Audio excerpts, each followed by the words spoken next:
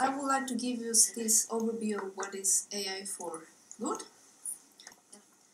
Uh, first, I'd like to introduce myself. So, when I was a child, I used to play the piano for many hours.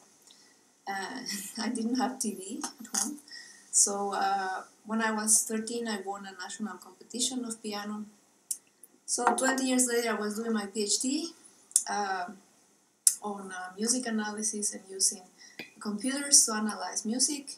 Um, and then we submitted some algorithms to the MIREX uh, for the uh, discovery of repeated themes and sections. Uh, so uh, the news they made this nice report of us. And now, uh, if we talk about the impact of technology uh, in music, we introduced scores. So that was first the first big change in the way that we transmit music. It was not oral, but also we have now a reference of what I really want to transmit with my uh, ideas. And then, actually, today music has changed dramatically, right? So, in a short period of time, uh, technology has changed the way that we do everything with music, right? So, we uh, are not necessarily close to the source of uh, the music, but we can actually listen to music from anywhere in the world, around the world. And then technology changed everything. So the way we learn uh, music, the way we archive, retrieve, consumption, of course, is, is uh, some a big topic. Uh, the way that we compose music and everything. So today, probably most composers look like this, right? Sitting in this stu- studio and doing some work. And then most music is now consumed by streaming, right? I was the other day uh, reading about how Bach composed so much music in a lifetime, and it was impressive that uh, he started composing on Mondays. Uh, he finished uh, writing. He had to uh, write for different parts of violinists, viola, the singers until Friday. Saturday he delivered scores. They rehearsed, and Sunday they played in the church. So it was amazing. And today we have technology that help us uh, do our job. But now, for example, we are uh, entering a new uh, cycle. Now it's robots in our societies also interacting with us and maybe being creative. Uh, they also have some expressivity, right? So we are modeling that. Uh, let's talk two minutes in pairs. So, what's your thought on this? Should we start in the back? Yes, I mean, I, I mean, I don't know if there are several things within the, the sentence, but from one side, the fact that maybe tools can replace humans. Okay, so then we, I mean, it might be better to not have servant slaves in terms, in sense of other people doing something for us, but maybe other, having, having tools might be better. And um, So, so actually, the thought was we could interpret it in, in a way that someone who's like enslaved um, doesn't have to do this work anymore because we have some tool and these people could do some other things. So to free them. Uh, but on the other hand, we, it could also be interpreted in a way like replace some some humans with tool, whatever it is, and we don't need the people anymore at all. So it can have something positive and negative in it. Mm-hmm. Would you like to compliment? Yeah, so uh, I think uh, Sertan has a really nice point where it's uh, kind of the opposite. No, well, I don't want to speak Yeah, uh, for like, like so But- what we discussed was about if uh, a tool is not used uh, in a way to complement humans, for example. Like uh, so, our uh, topic di- diverging to uh, talking about like streaming services and recommender systems and how they might actually make the musicians, especially not the high earning ones in this context, uh, slaves or servants because they are not really either they are not in the front anymore because the uh, services don't really show them Mhm. or it might be just uh, their earnings uh, because of the way the economy now works is diminished so much that they actually cannot be full-time musicians. So But before streaming, uh, for some artists, it was impossible to have something on the cloud, right? So you would have to be a superstar to be in, in a streaming service or a, in a CD, for example. yes, But now technology allowed any independent musician also to yes, to have their voice out there, even though, of course, they may not be promoted as other musicians. Right? yeah, and um, they they don't learn anything. Yeah. that's the Um, bigger But it's, it's like um, like um, just putting it to some other point. Before it was the pre-selection of which artists could be would be promoted and have their albums and what's on. Now more people can put stuff on there, but it's still a selection yes, that um, promoted and it's not the same companies or just partly the same companies that decided. So it's it's again a, a, a selection. So it's just that you have a recording out there doesn't mean that it's it's but it means it's out there. yeah. And then what we actually discussed the last bit was exactly what you were saying. Like it is about how you purpose the tool. Um, like you might have all the versatility, but if you just want to use it in a way, for example, for the company's profit, then if you don't care about the artists in this context, then it will make them servants or slaves. So that was, I guess, more or less what we thought. I don't know. Yeah, um, and I mean it's not only in. I think it's not only uh, something that introduced the streaming service. The fact that uh, the musicians have to play what um, people want, not not what they want, so that makes them slaves. but it's not related with the tools. it has been always like that. Yeah, that's that's Actually, actually that's something I saw like after like discussing. we also discussed that, that like uh, if if there's some event outside we're having food and we want some band to play uh, maybe there's the order to play some not heavy metal but play some jazz ballad so that's already telling other people what to do um, Yeah. so uh, and the the word slave is really hard for me to like Sorry, guys. and and here in the translation it's service service and slave service sounds Servants. nicer nice like sounds for me it's it's more more pleasant word with it Okay. it's uh, how you perceive would it you like to share your thoughts? It's pretty much. Yeah. It's pretty yeah, I'm pretty in line with what everybody else is mentioning. We talked a little bit about you know probably when Aristotle proposed this, it was maybe for an ethically good thing. He's thinking, oh, we don't need to have slaves at all because we can just you know eventually develop tools that will do all of these jobs. Um, but if you think about it in a sort of modern context, now we worry about things like you know, human workers being replaced by robots or whatever else. Um, so it's it's almost like this very thin line. It's very easy to flip back and forth depending on the context and how the technology is being used. But I question so a CD player or a Yeah. radio replaced musicians, do you think? somehow in some like you can have events with uh, just recorded music playing and you can have an event where we have live music playing it's it's like it's a shift from one part to the other It really depends on the context. I don't know. If you are a live musician, it ends up making your work quite a bit more. Not only do you need to play all of your live shows, try to generate profit from that, you also need to now produce all of these recordings. Whereas But how about you want to be known, and then how do people knows you exist? So you have to have a recording Exactly. before everybody knows you, But so you can we promote have- yourself. you have to consider that um, what is an artist so there's someone s- doing the songwriting someone who do the recording of the original but that there there are also professional musicians like playing at an event playing cover songs and maybe there's not even a desire to in the top charts. It's like I want to play my guitar and I play do it really well and I can do the covers. And it's a different kind of profession and I don't need to have recordings on that if I'm a live musician.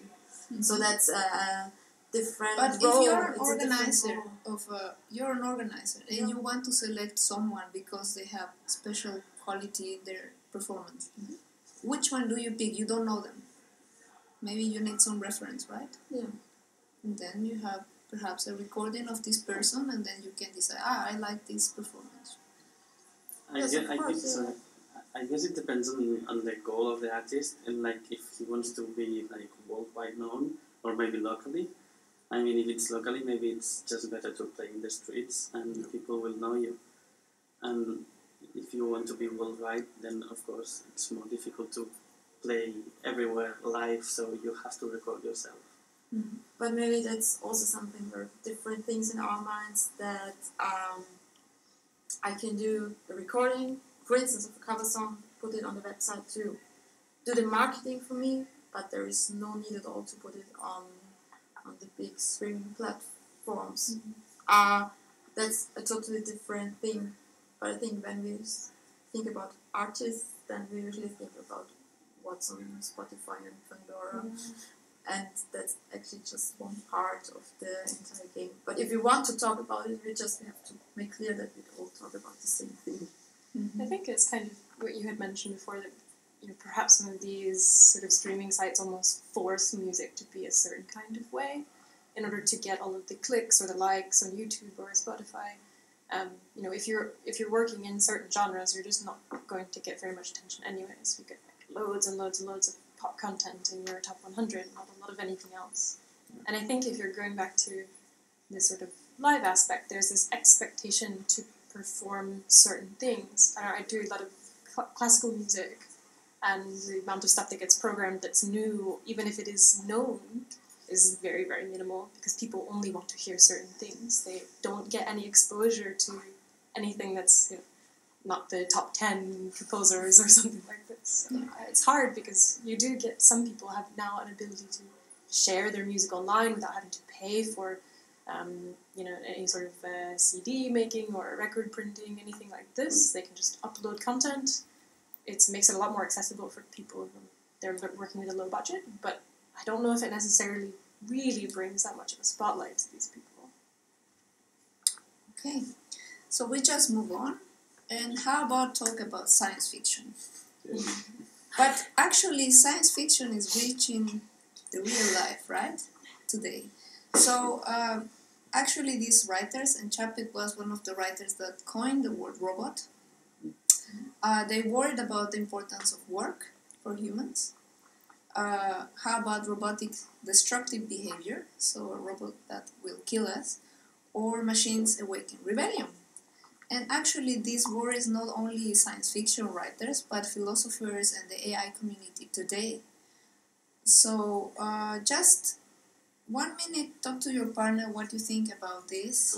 And you were right, Asimov was the one who wrote these uh, three laws. So, would you like to read them out loud? The first law? Let Can you? my half glasses. oh, It just broke. oh, Uh, yeah, the first law is a robot may not injure a human being or through inaction allow a human being to be come to harm. Uh, the second law, a robot must obey the orders given by, it, by human beings except where such orders would conflict with the first law. And the third law, a robot must protect its own existence as long as such protection doesn't conflict with the first or second law. Okay, so actually, science fiction can teach us a lot. What is the zeroth law? The zero law. Yeah, there's something down. It says a small lady and it's a Zero. zeroth law. to protect humanity's interest. Hmm. Can you read it? Oh, okay. A robot may not injure humanity or through inaction allow humanity to come to harm. Yeah. And actually, perhaps humans are the ones who, who provoke injury to human- humanity, but robots could prevent us to being destructive. but who decides what's harm for humanity? And maybe it's a protection to humanity to kill some people. Just Yeah. I think that's one. That was one of the problems in the book, right? I Robot. He kind of um, in the end there was this kind Yeah. of. Uh, uh, I, I don't actually remember the whole book, but I remember that in the end there was this robot that was able to find a hole in all these rules. Yeah, Yeah. And, It's like the uh, trolley the problem, idea isn't is it? like Yeah, Yeah, the limits, where are the limits, and, and how you define Yeah. them. And yeah. how the robot decides which one, like, do I save this person or this person? Yeah. But actually, this is what happens with uh, driverless cars right now, Yeah. right? Yeah. So in an accident, the the algorithm has to decide which action will provoke less, less harm, right? And then you take uh, life and death decisions, right? So that's why what it is now so. That's why human in the loop is uh, important many times. Yeah, but ac- actually, what you mentioned with self-driving cars is the, the moral machine where you can try that out on them, and there are cultural differences in perception yeah, yeah, and Yeah. challenging, very challenging. Very challenging. Okay, so we go back to music. and actually, there are different points of view. So, uh, Miriam Cutler is a film composer, and she talks about uh, the work of film composers, which is brutal. Uh, they have a lot of work and they warn about young composers, about the stress and health issues, so that this job is uh, really uh, stressful and she i mean people in this job do not imagine themselves without technology without computers and so on and so forth on the other hand uh, i was in this ai for good summit and there was this drummer jojo mayer and he complained that technology uh, can kill a little bit the creativity. Or for example uh, he recalled that there was a drummer who made a lot of recordings and when these drumming machines came up to the market he kind of lost his job. And then people start using these drumming machines which were you know very precise and then uh, you know very cost effective and they could even do musical patterns which are not reproducible for humans. So as a human you cannot reproduce something which is very fast and, and difficult. So it kind of blew the mind of uh, some artists. And he was also complaining that perhaps um, uh, the music that we hear is kind of lacking of creativity. So the patterns that we are used to or exposed to are just you know a set or subset. So it provoke harm right so but if we consider there are different problems they describe and different uses of technology so what do we consider actually uh, if we think of uh, revolutions as a whole and we consider the first industrial revolution, which was provoked by the steam engine and the railways. And actually, at that time, the expectancy, the life expectancy was 35 years, which today is almost double. So these revolutions brought also a lot of wealth in general. And if we consider the second industrial revolution with the electricity as the main uh, motor, and then we have the phonograph, which changed also the way that we uh, can uh, access music. And then it's considered 1906, the birth of the uh, recorded music market. Uh, we also have the production line. This helped uh, a little, a lot in the way that we produce. And the consequence is that today we have unattended factories, so no slaves, right? The factories can produce and produce. Uh, the birth of the third digital revolution uh, is propagated through the computers and also in the music industry so we have the vinyl disc uh, then we have audio cassette. So all those uh, uh, innovations came very fast one after the other. And today uh, there's a wide uh, adoption of smartphones also online commerce and streaming. So our way of consum- consumption has changed everything. And the birth of the fourth or so called artificial intelligence revolution is thanks to a convolutional neural network which is able to recognize uh, handwritten uh, written digits. And I'm going to talk later about this network. And then we have internet, uh, we have self driving cars, and one uh, new, which was uh, very interesting, was this AlphaGo. Do you know what is AlphaGo? Yeah. So this blow the mind of many people because this challenges uh, us as humans in our capacities. Uh, um, so high level strategic capacities. So are we going to drive self-driving cars in the future? Probably we are not going to drive cars anymore in some years because the the accidents produced by humans are much larger than the ones produced by self-driving cars. And so the companies who insure people would say, okay, we don't give any more insurance to you, you just drive a driverless car. And uh, if you want to drive, then you will have to pay a lot of money to be able to drive a, a car. So probably nobody else will want to drive a car. And the other concern is what happens if machines reach uh, or surpass human intelligence, right? Um, experts consider that this can happen in 2075. Yeah, so we have some years until there. And what are the consequences of that? Okay, hold on to your chair. Uh, the people who, the futurists, think that we are coming into a this digital cataclysm. So in the next 20 years, we are going to see so much innovations and disruptions, and uh, our life will be changed in a way that is larger than the first and the second revolutions together. And everything is changing very, very fast. So, um, yeah, so there are many changes coming in the next 20 years. What nobody knows is that if it's going to be a utopian world or it's going to be a dystopian world. Nobody knows that, but there are some kind of uh, trends and the way that people think. So there are some people who are, which are optimists, there are the pessimists, the pragmatics, and the doubters.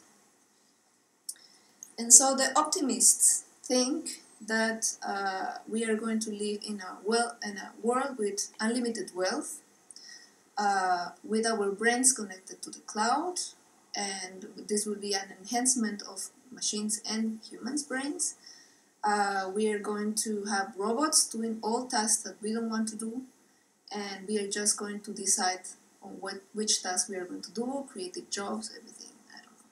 So that's uh, the way that optimists think. The pessimists think that it's very dangerous that machines could reach human intelligence because they can improve recursively themselves and surpass biological intelligence. And when you talk about pessimists, you always see this kind of Terminator picture. Um, actually, machines could take better decisions than us, and then perhaps we are not going to decide anymore. So that's the view of the pessimists. It's not going to be a bad world, but humans may not be motivated to do things, right? Because machines can do better. So we are going to be like a second status uh, uh, being in the earth. Uh, we are going to be more or less like pets to machines.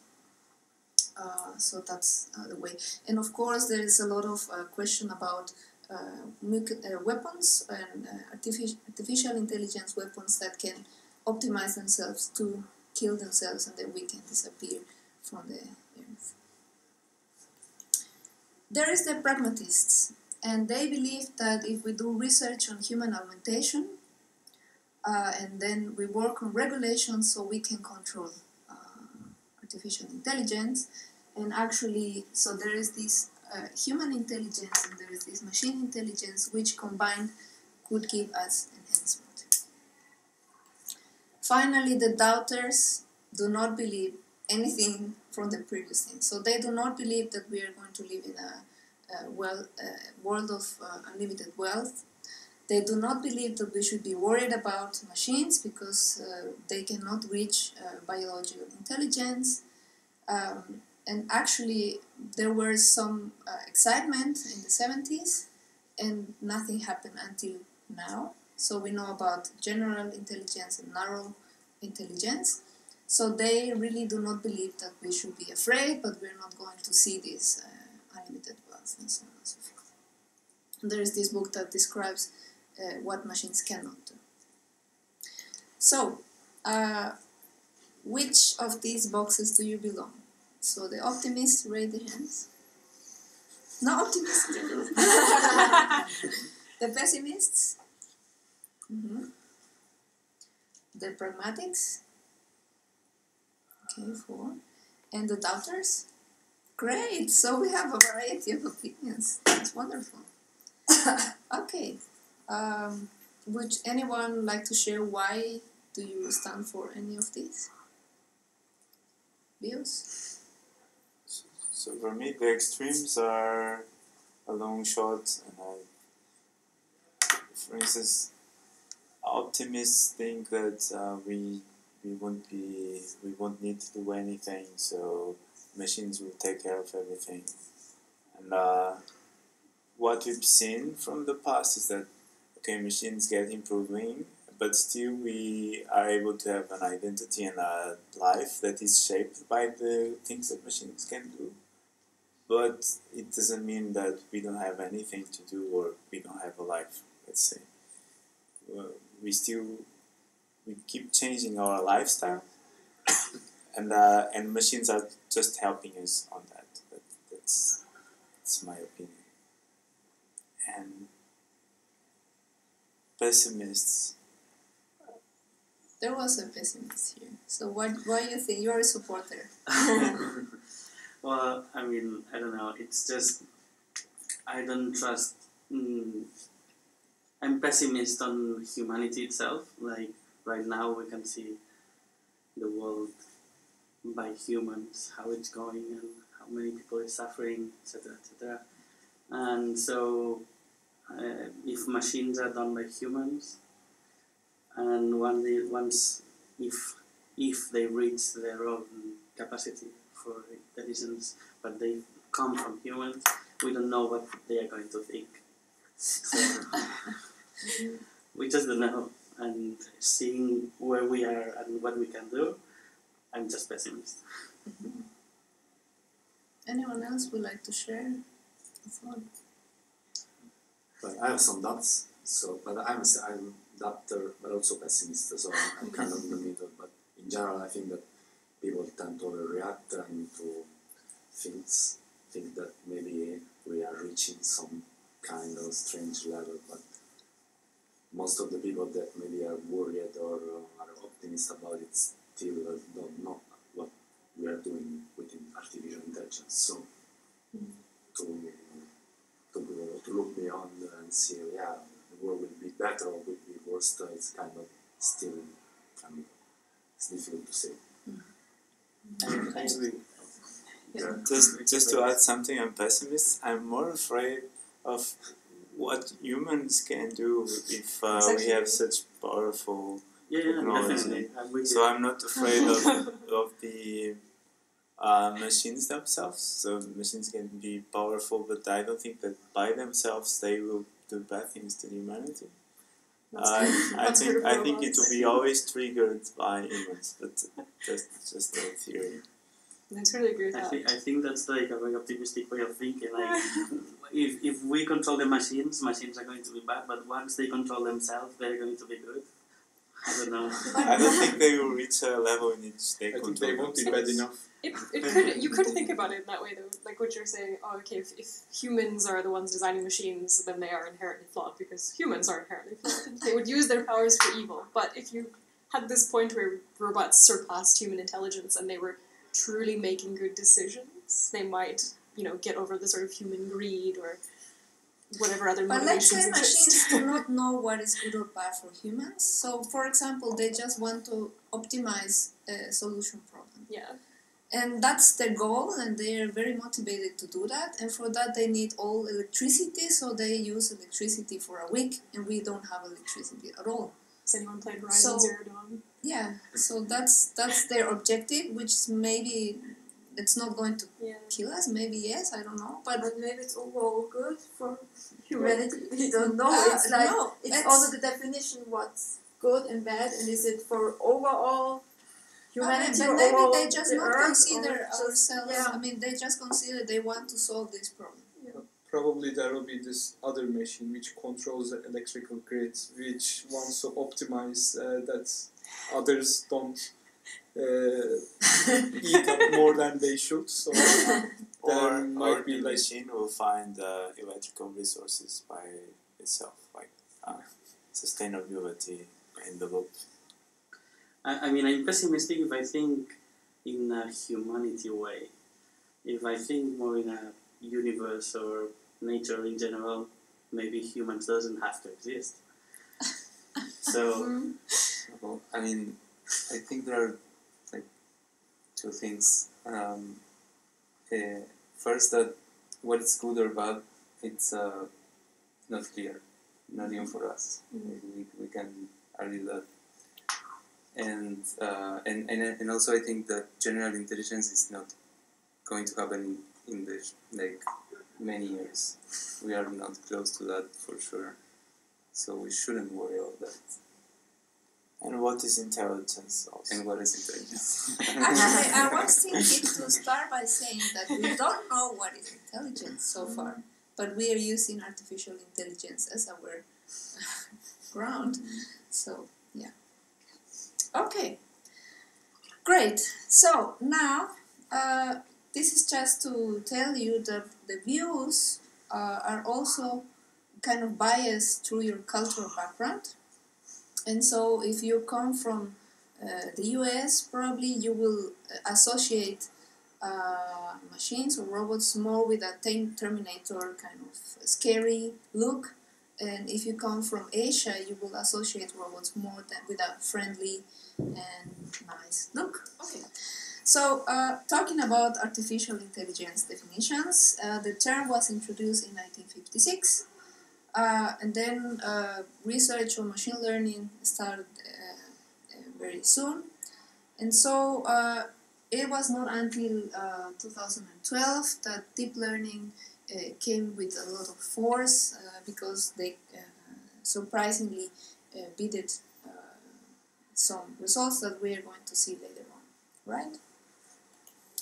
And uh, if we define a little bit what is uh, this, so a computer program learns if its performance at a certain task improves with experience. So, in the 60s, there were great expectations after machines came. So, they said that within a generation, the problem of creating artificial intelligence will substantially be solved. And then uh, in 1965, uh, this Nobel Prize economist said machines will be capable within 20 years of doing any work a man can do. So at that time, uh, actually, they were very excited, but then nothing really uh, happened. So there was this paradox, right? So uh, computers uh, could solve uh, theorems or geometric problems, which is very hard for humans actually. But they could not solve tasks which are re- really easy for us, like recognizing faces, speech, and then a one year old kid can do that. Or motricity, right? So it was this paradox of what computers can do and what we can do as humans that um, perhaps talking about general intelligence, right? And so, if we consider, uh, for example, um, the ImageNet, does anyone doesn't know what is the ImageNet competition? Everybody knows, right? So, uh, in the introduction, so 2010 and 2011, they were using uh, Fisher vectors and uh, compression and S- SVMs. So th- those were the error rates. But then in 2012, they started using convolutional neural networks, which were trained in GPUs. So the, the jump was uh, dramatic. And then after that, all algorithms were using convolutional neural networks, right? Uh, so this is human uh, error rates. And then with 152 layers, uh, actually machines are much, uh, not much better, but they're better than humans, right? So um, actually, convolution is a mathematical operation which was described in um, 1754, and then it was extensively used by Fourier, Poisson, and Cauchy. And actually, if we see a convolution of two-dimensional signals, so it's an operation of uh, y and w. So we have here our, um, our function, and this will be our filter which is translating to this uh, function that we want to analyze. And then the output is just a filtered version of that. Uh, there was nothing new right? But what uh, neural networks did was to learn automatically these filters. And that's the key of uh, convolutional neural networks. So they can learn automatically from the data which are the filters that we are to use. So, uh, in 1906, uh, Santiago uh, Ramon y Cajal uh, won a Nobel Prize because he was the first one to describe that our brain uh, functions thanks to neurons and the interconnections. And um, yeah, he do- he made these uh, nice drawings. Actually, his father wanted him to be a painter, and then he became a scientist, and he was able to draw very nice. Um, and so, in, in 1962, there was also a discovery uh, that our brain has these simple, complex, and hypercomplex cells. So these simple cells um, uh, get excited to uh, lines, for example, and they are excited to specifically one orientation of line, and then there is another group of cells which get excited to this orientation, for example, so on and so forth. Those would be the simple cells. And the complex cells uh, take this information in a next layer, and then the patterns that they can recognize are a bit more complex, and then this is this hierarchical processing of information until uh, very abstract concepts. And so this uh, neural network was used to actually model that. So when we have uh, an input, could be an image for example, then we apply convolution. That would be our kind of uh, simple cells, which are more kind of edge detectors. And then we have a pooling operation which uh, aggregates information in, in an area, and then uh, images get smaller. And then we apply again convolution and again pooling and so on and so forth. So this uh, hierarchical processing uh, through convolution and pooling is similar to what we do in our brains to process information. And actually, this is uh, what I was talking about the beginning of the fourth industrial revolution or the artificial intelligence revolution. So this is attributed because hand uh, digits, uh, you know, they have variability, and these networks are able to be robust to this variability in the data. So, and it was not only the architecture, but it was also thanks to the GPUs, thanks to lots of lots of data and uh, developments in the algorithms, right, that make uh, deep learning successful. So if we consider what is uh, style, creativity, and perception, so they are kind of linked, right? So what we perceive, we are able to recognize as a style, but we are also able to create from that. And uh, maybe you know this uh, research. Um, so they uh, show that they can uh, transfer style. So, for example, you have one image, you learn uh, the filters of, for example, one style of painting, and then you can transfer to this uh, style, right? So this is kind of interesting, and the same but we can apply to music. Great. Uh, very briefly, so how good are we at these different tasks in our community? So, uh, composer identification, mode classification, genre, uh, pattern prediction. How about music generation? We don't have uh, yet uh, evaluation for that, right? But actually, uh, Do we are- have evaluation for the others? mm, well, this is from the MIREX, so this is. Oh, uh, okay, that's the reference. That, that was my reference, the MIREX, right? So that was my reference. Uh, but actually, as a humans, we are okay uh, that machines uh, do these automatic tasks, but we kind of get bo- uh, kind of uh, yeah something bother us when we talk about music music generation and machines being very creative, right? I don't know you, but some people get kind of nervous. So, what is the view of the ISMIR? Last year we had a session where we talk about ethics uh, and so on and so forth. And I checked in the website if the ISMIR has some guidelines about uh, uh, ethics. I couldn't find anything. So, probably it's today, uh, the day where we are going to gather and we are going to write a small document and perhaps propose this to our community uh, to see if we can have something very official as a community.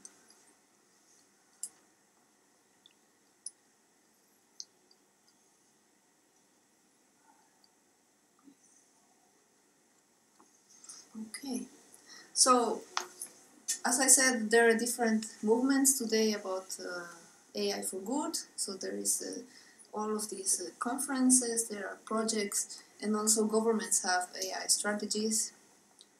Uh, people think that if we concentrate to solve one of these goals, so we are contributing to uh, to have a better world, right? So probably, um, yeah, I don't know how our community can uh, be part of this uh, initiative, but we can certainly think about it, right? So there are different. Yes, so uh, people think that it's really possible that we achieve these 17, 17 goals and we can have a human augmentation, uh, human uh, to improve our intelligence and capabilities, and we can empower non-experts, but there are several things to consider. So, how about misuse and manipulation uh, of monopolies? How about uh, there are large repositories of data, but they are concentrated in few hands, and we know that we were discussing yesterday about that. Um, how about job transformation? Uh, what is people going to do if machines automate their jobs? And can we trust systems which are poorly designed? So what happens if we take our decisions based on that? So one minute, discuss with your partner about these issues. Yeah. So we were having an interesting discussion about uh, trustworthy of these systems. So uh, we were saying that we should always have a way of opting out of these technologies when uh, when we don't trust them, when we don't trust their results, so that uh, we we don't get in a system that is manipulating us or making us making bad decisions. But again, we need to have some mechanism to measure trust on this system and measure if it's worth uh, using this system. And uh, this can be a challenge for, for, for the users, for individuals. So I have two points for that. The one thing is, uh, if you say, okay, I should have the possibility to opt out of the system, but maybe that's uh, opting me out of a social life, like um, social media, when everybody's in there and you say, I don't trust this and I don't use this, but then you don't get some information and you are excluded. It's not inclusive things, for instance. yeah, yeah. Things change, but it's it's like it's not only my own decision, or it's a decision for me, but it has lots of impact on my Yeah. on other aspects of my life. But it's but it's on it's also very much because social media right now don't give you any possibility to opt out in a flexible Well, I. I I had a colleague. She never participated in anything where she had to register online, kind of. But she also didn't know what we were talking about, for instance. And when people are talking about Facebook, she didn't know what Yeah. what it is. So it's she made this decision for herself, but it was not only opting out of this Yeah, one system; it was opting out of a lot social of circle. things. Yeah. Um, so that's that's one thing. So we have to consider that as well. And concerning trust in systems, it's something that we discuss. Um, so sometimes we don't know that some system is not properly designed. Uh, so maybe we trust it, but there are also a lot of systems where we actually know that it's not good, and we still somehow trust it. Like, for instance, I can see that in research on online self-disclosure that people like with the privacy paradox that people say I will never give away this kind of information, especially on this platform, and then you observe people doing exactly that, where they say they would never do that. So actually, it's we know that it's not good, but still somehow we trust. At least it's maybe just the trust that nothing bad will happen to me. That's also some kind of trust, although we know that there's something maybe not perfect. Um, so we also have to to look on the different sides of the. It's not only two sides of the coin, but it's like different perspectives. Yeah. Uh, these are the two things that relate to what you've said. Would you like to add something? Mm, yeah, I, I guess um, one of the main things we're talking is like, um, how do you know when you're manipulated, or how do you know when when something is not mm, properly designed, and how can you trust things that you don't know?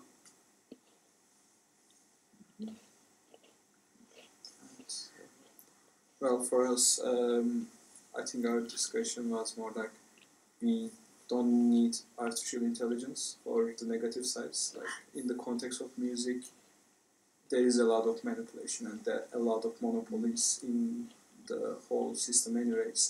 And uh, the music industry historically don't trust each other. So there's no information from like the big three to the others. Collection societies are uh, themselves are quite uh, obscure and some are practically uh, mafia. And I mean, the Spanish Collection Society got kicked out a few months ago because they were actually doing a lot of manipulation. So um, our, I think, agreement was like we can still, we don't need this to become worse, but we can use uh, machine uh, assisted technologies uh, to improve this. Like, for example, from my perspective, many of the things we have to do are related to uh, identifying if this person is the same as that other person in a large data repository, and there are no unique identifiers to match because of the trust. So people have to do that. And uh, given a technology, can we actually help uh, humans in the loop so they don't have to deal with like 99% of the stuff so they can actually do um, more like less manual tasks and uh, hence uh, the musicians the creators will get uh, what they fairly get which is not happening right now so that was the blurb Um, the one point that that actually even without AI, there's maybe something not so good going on, but AI can reinforce that or mitigate that, so that or just not change anything at all. So it's yeah, we can use it for good or for bad, and yes we have to define what good and bad is and what we want to do. That's another thing. and And many people enforce it Yeah. like they don't use it But that leads me actually to one point um, in, on the positive side. So it's it's mentioned that the positive side it's empowering non-expert users, and it depends on the perspective that you take. So for the non-expert user who is empowered, I think that's a positive thing, but it could potentially um, be something negative for the one like if other people are empowered and someone thinks uh, he is losing, then it's actually a negative implication. So it depends surely on the on the perspective that you take. Yeah, well, some say that the countries that will use AI Mhm. To empower their workers, Mhm. uh, I mean, this technology can also lead the gap of uh, inequality Yeah. much larger. Yeah. So uh, Yeah. there is also this risk, right? There- There's, it's also a bit related to the one slide that you had on the on the revolutions, let's say. When we look at the digital revolution, that the different forms of media, and this is also, I mean, this happens so differently in different parts of the world. Um, like uh, some music cultures never had really the CD, Mhm. um, and went directly from the cassette to the mobile phone, basically Yeah. for instance. So things happen very differently and will happen also in the next uh, this revolution or whatever revolution differently in different places. So it's, and, uh, we are thinking about a certain framework in which we live, but uh, Yeah. And actually, it comes to my mind just now with the job transformation. Yes, that's something that happens and that happened, but maybe it's not a negative thing. Like it can be a positive transformation that you really enjoy a lot, and now you have the possibility. So it's not automatically something negative. No. Actually, yeah. Uh, actually, So it's, it's really difficult to have positive, negative on one side because it would be a, actually a chaos side Yeah. slide that you have to have there because it depends so much on the different perspectives. Well, actually, just as Yeah. before, so there are some positive economists and neg- uh, Yeah, yeah. pessimist economists. Uh, Some sh- say that the, the automation brought in the area where this automation came in uh, improvements Mhm. or uh, more economic uh, growth. Mhm. While others think that, for example, if uh, self-driving cars come into the U.S. and there's many people uh, depend on these jobs, what they're going to do, right? So we have to give new skills to these people who are not going to be able to perform the job that they were doing, right? And how do we do that in the smoothest way? Mhm. Okay, so more challenges for you to discuss. So, uh, uh, sorry. Uh, so we have to ensure trust, privacy, safety, fairness, and explainability. Uh, avoid bias and poor design. So how how we are going to do that? Uh, how we are going to enforce ethical guidelines, for example, by laws. But in our community, for example, how can we do that? Uh, discuss what are excellent practices. So, do we perform data inspection? Do we do auditory of systems? One, some publications are out there or not. Oh, sorry. So, again, one minute with your partner to discuss these Can I take a picture to the slide? Sure.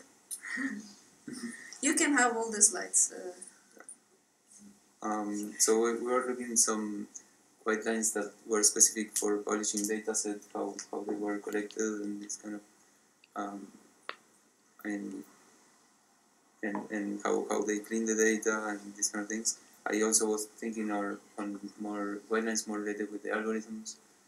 Um, yeah, but the, the, the discussion was yeah, that. So one point was that we think everything that's written down there on the slide is important, and we agreed that we couldn't make any ranking. uh, and there are lots of interdependencies.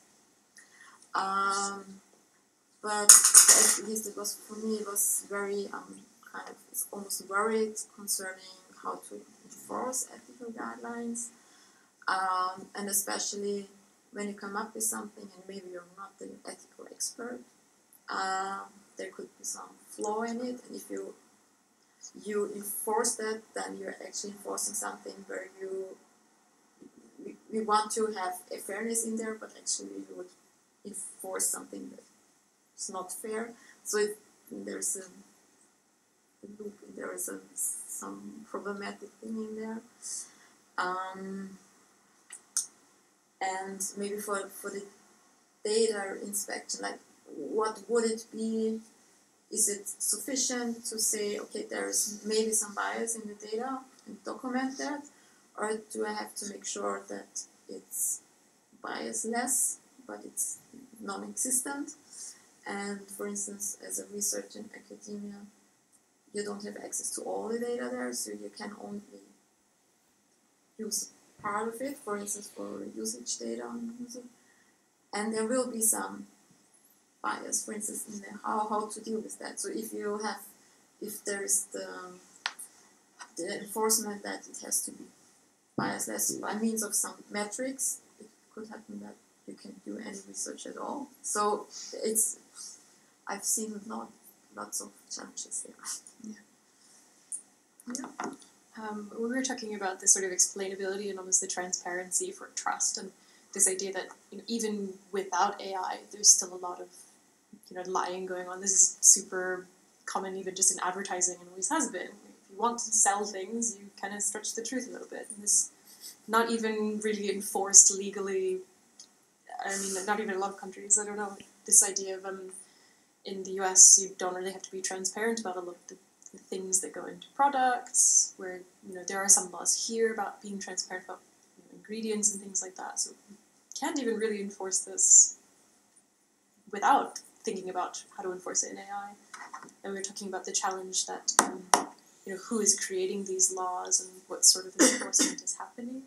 Um, how to you know, how to get these laws to be ethical when a lot of the motivation for laws can sometimes be unethical. go on a next slide Yeah. about that. the sort of corporate involvement in government and, and, and how laws are passed can inherently be biased and is sometimes not very ethical. Well, actually, uh, applications come much faster than laws are approved or Uh-huh. designed, Mhm. or Yeah, yeah, yeah. so. Yeah, exactly. Okay, and you?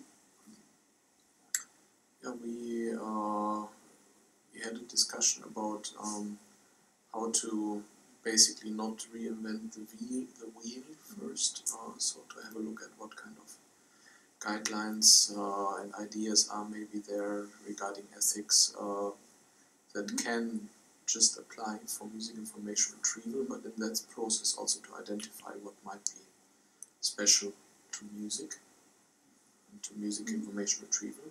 And maybe not only to music but to arts maybe in general. Um, uh, then we discussed also um, about bias, that maybe um, avoiding bias is uh, might be impossible. So, uh, uh, and then the question is, of course, how to deal with it, how to document it, if you cannot avoid it completely. So, what shall we do with it? And then uh, also enforcing ethical guidelines and produced by laws. We are discussing that, for, for the example of GDPR was uh, was a really bad example of how to deal with this because in the end we didn't have we, we have the same issues with our personal data but we just have to fill more boxes in order to use their services Mm. so I, We don't like that.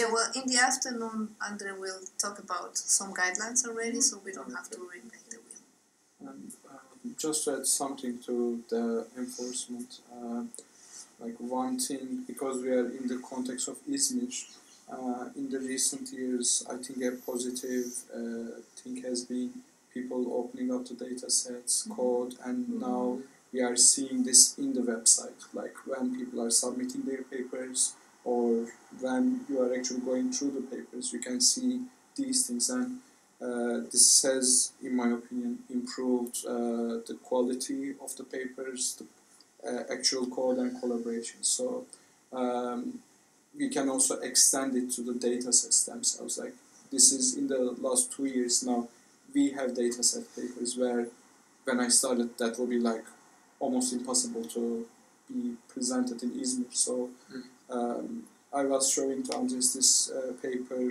from Google, I think like one year ago, like uh, Timnit Gebru, Kate Crawford, uh, et al.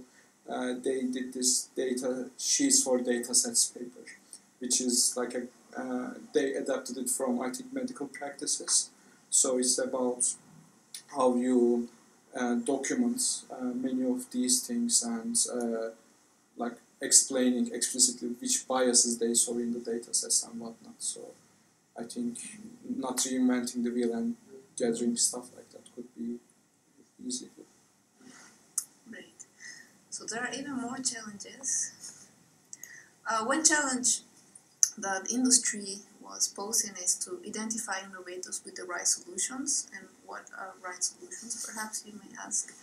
Uh, perhaps the lack of skilled people and how we can reskill workers in time.